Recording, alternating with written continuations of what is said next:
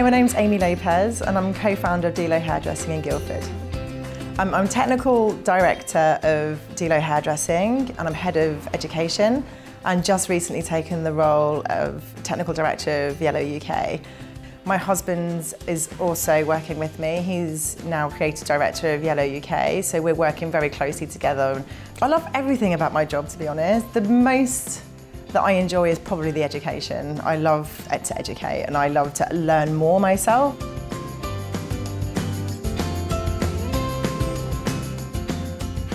If he's to watch this, him. The wine sits me.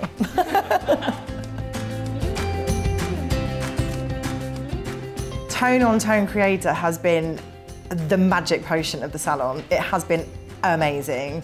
Um, I use a lot of, I use it every day on most of my clients. Our job has got so much more simpler since having Tone on Tone Creator. Is my 10.21 mixed with my 9.2 with Tone on Tone Creator. Because I do a lot of blondes that like to look cooler, but to have that slight hue, and I've been using a lot of the 9.2 with my Tone on Tone Creator, and it's amazing.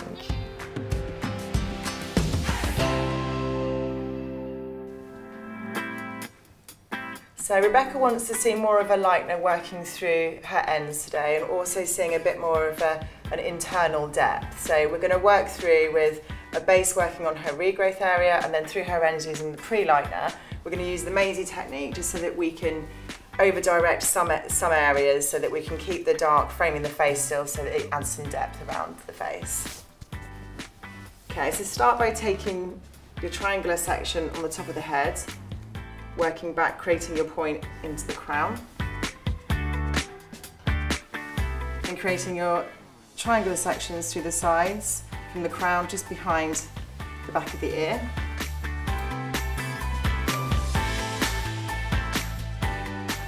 And then continue to repeat the section on the other side from the point of the crown to just behind the back of the ear.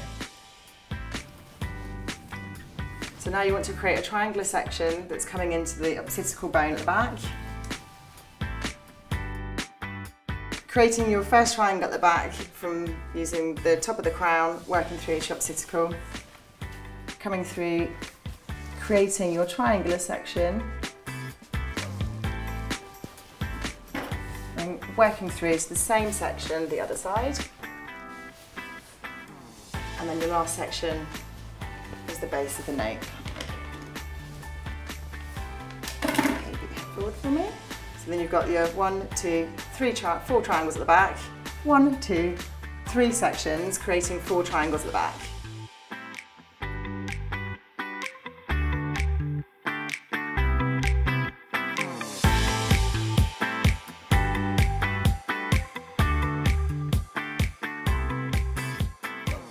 Okay, so I'm going to start by applying the root colour to all the sections.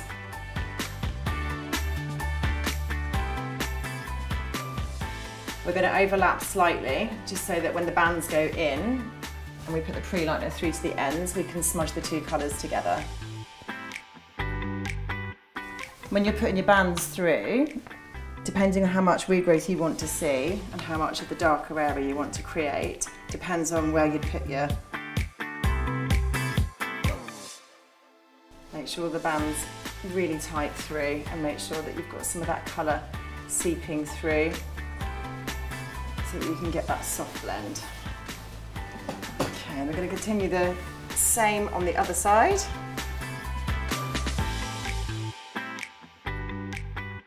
Now we've finished the sides and the back section, we're on our last section at the very top. I want to create a little bit of root through that front, so we're going to over direct it very, very slightly back.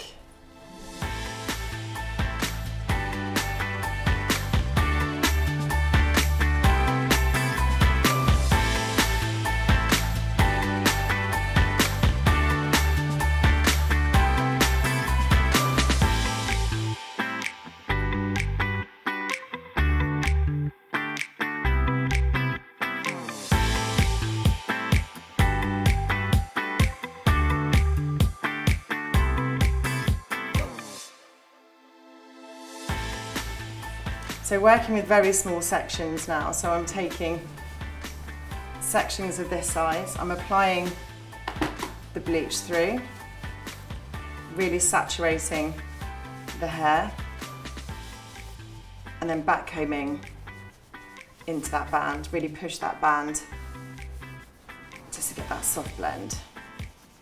It's important to back comb it into the band, otherwise you're going to create banding where there's areas that don't have any colour, and at least by doing this you're creating a soft blend from root to end. So I've finished all the other triangular sections, so all we need to do now is do this very top section. So I'm just carrying on with the same saturation with the same sectioning pattern as we've used on the other triangular sections.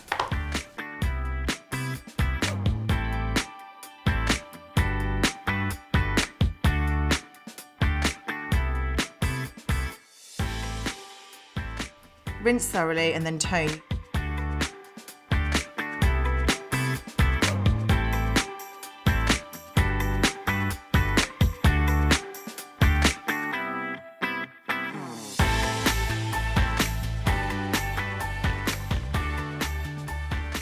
I have now completed Rebecca's technique. I'm going to leave her with my husband, our creative director.